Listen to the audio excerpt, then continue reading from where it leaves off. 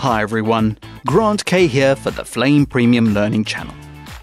In the previous sessions, we have covered a variety of stabilizing techniques such as point stabilizing, auto stabilize, and planar stabilization. Now, all these methods are very powerful and can be used to solve a multitude of problems. If these don't work for your particular case, there is another stabilization method you can try. If the shot in question is a track or dolly move, you can use 3D tracking to analyze the shot and then stabilize it using the Action 3D cameras and projections. This is based on the idea of using object distance in Z space to stabilize the image. Now, this idea was first shown a few years ago by flame artist Alan Laterri. The Flame family has developed somewhat since then, so we'll look at this workflow with the current release. Please be aware that, like all stabilization methods, results will vary depending on the context and how it was shot. If you would like to follow along, please click the link in the YouTube description to download the media. Alternatively, if you're watching the podcast version of this video, then type the link displayed in your web browser. Starting off in batch, set the duration to 72 frames and please connect the source clip into a new media input of an action node. When you go into the action, use a dual screen split for the action schematic and result view. Now delete the image and axis objects which are automatically added. The first step in this workflow is to perform a 3D track. So switch to the Action bin menu and select the media assigned to input 1. In the node bin, double click on the Analyzer Mono node to set the 3D track. Ensure you have the schematic on the left viewer. Hovering over the right viewer, you can press F7 to toggle to the 3D Analyzer Mono view. Now double click on the Analyzer Mono node to bring up its controls. To perform the 3D track, set the camera settings to Free 3D Motion. Also set camera solving to track forward and backward. Now click Analyze. The 3D track begins and will solve the camera when it reaches 100%. Now let's have a look at the 3D point cloud from a third person perspective. Press the Space F7 keyboard shortcut to display the Analyzer working view. To move around the point cloud, press O to switch to orbit. As you move around the view, you should be able to make out the 3D features of the image. Now I don't want the point cloud to be so spread out for this example, so switch to the fine tuning menu. Set the scale to 200%. This doesn't change anything from the camera's perspective, but it does adjust the distances between the points to make them more manageable for this shot. Now let's identify two points on the image that could be stabilized. Hover over the Analyzer working view and press F7 to go back to the 3D Analyzer view. Let's create a locator for the screen and then the wall. Hold Ctrl and select the tracker box on the screen. Under the output header, click Create Locators. This plots the screen's locator in 3D space within action. Next, hold Ctrl again and select a point on the outside wall. And as before, click Create Locators to plot the wall points in 3D space.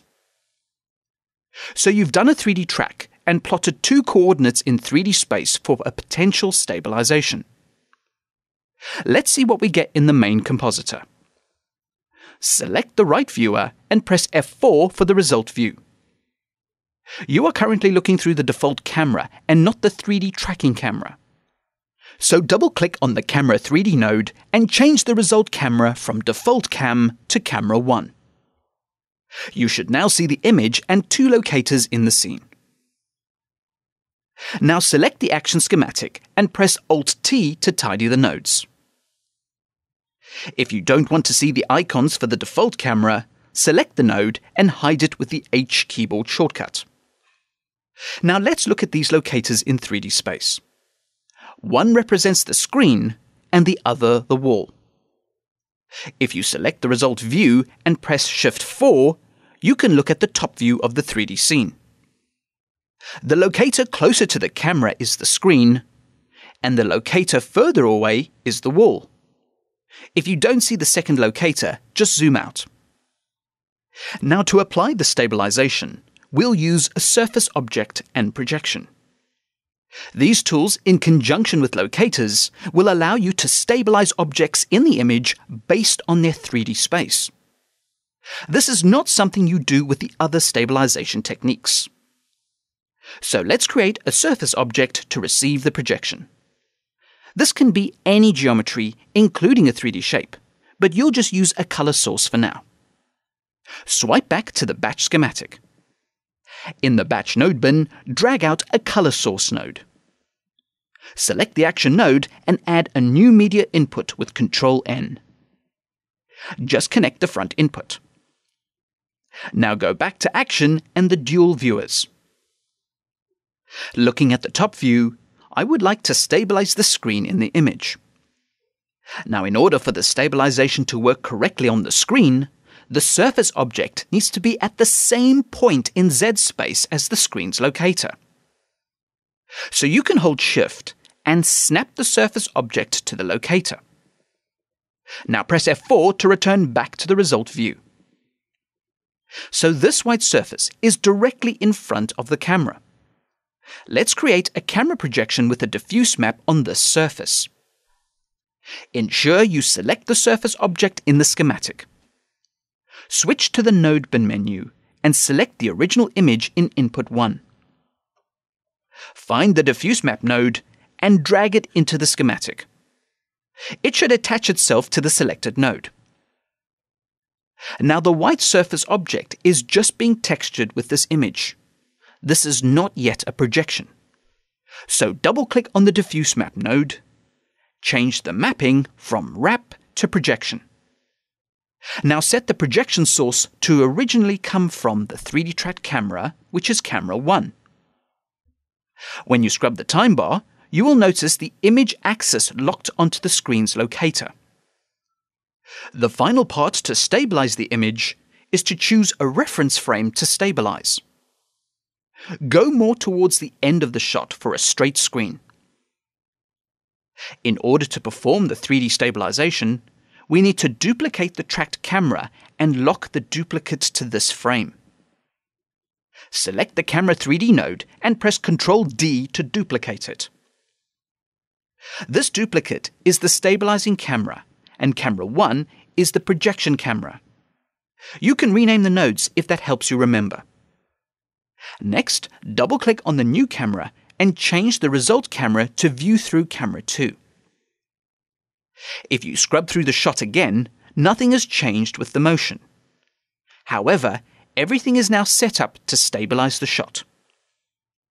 In order to do this, you need to lock the camera to the chosen frame. So you want to use this current frame as the reference frame to stabilize the shot. Select camera 2 and switch to the animation menu. If you don't see your camera, press Shift Tab to frame the selected object and its channels. For complete stabilization of the screen, we only need to keep the keyframe of the current frame and ditch the rest. So with the positioner on the current keyframe, click the key button to the right of the screen. Every keyframe is deleted off this camera except for the current one under the positioner. Now if you scrub the positioner, you can see that the screen is more or less stabilized and everything else is moving in the scene.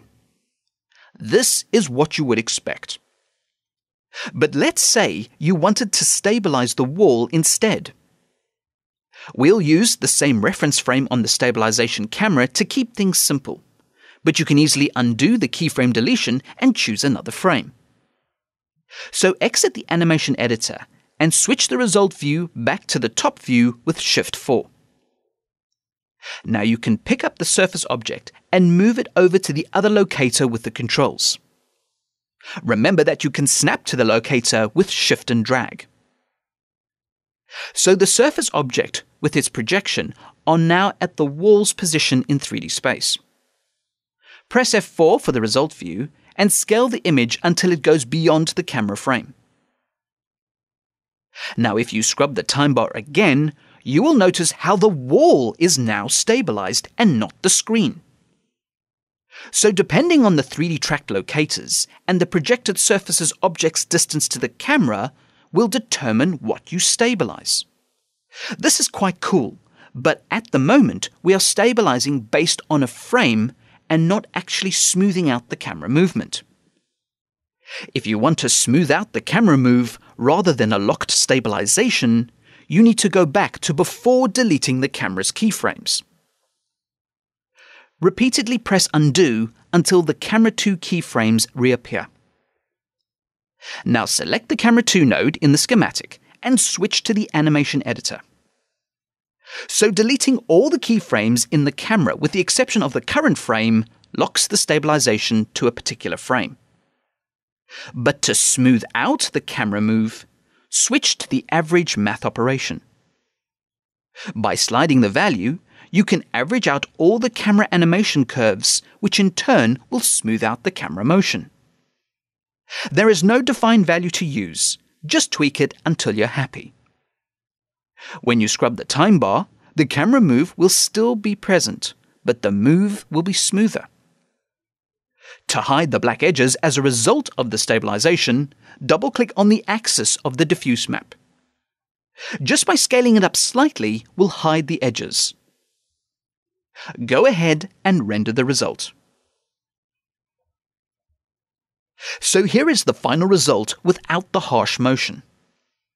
Unfortunately, it will not solve issues like camera weave and blur, but it will certainly help smooth out the camera move. Here is a before and after comparison of what was done through the course of this video. So that's performing stabilization with the 3D compositing tools in action. And once again, special thanks to Alan Laterri for his contribution. Comments, feedback, and suggestions are always welcome and appreciated. Thank you for watching, and please subscribe to the Flame Premium Learning channel for future videos.